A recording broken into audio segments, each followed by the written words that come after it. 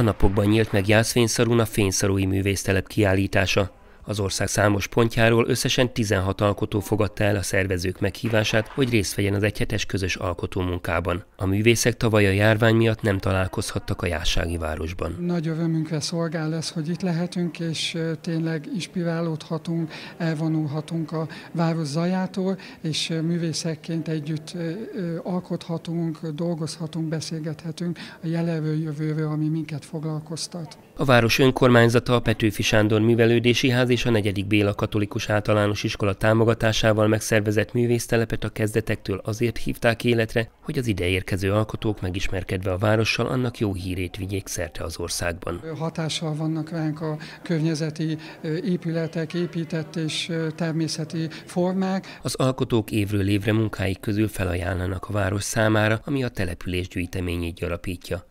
A megnyitó résztvevőit a szervezők részéről Bordásné Kovács Katalina művelődési ház igazgatója, majd Győriné dr. Ceglédi Márta polgármester köszöntötte. Azok az alkotások, amik is születnek, és létrejöhetnek, rányítják az emberek szemét, a figyelmét a művészetre, az alkotásra, a hétköznapok forgatágából ünnepeket tudnak varázsolni.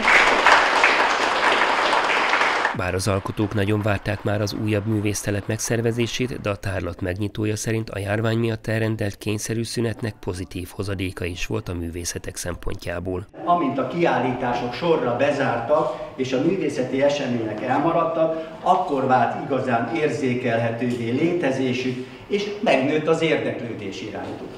A bezárt galériák, a bemutatás és a megtekintés ellehetetlenülése egyértelművé tette, hogy korunkban a minden napoknak fontos részei, nem mondjam tartozékai a különféle tárlatok és egyéb képzőművészeti eseményük, események hiányuk azt jelzi, hogy valami nincs rendben. A művésztelep sokszínű és változatos tárlata szeptember 18-áig tekinthető meg a művelődési házban, ahogy a képzőművészeti alkotások mellett idén kiállító hímzőkör bemutatója is ebben az időszakban látható, ugyanis a fényszorói hímzőkör tagjainak az ország számos tájegysége mintakészletéből merítő alkotásainak közétételét is felvállalta a Petőfi Sándor Művelődési Ház.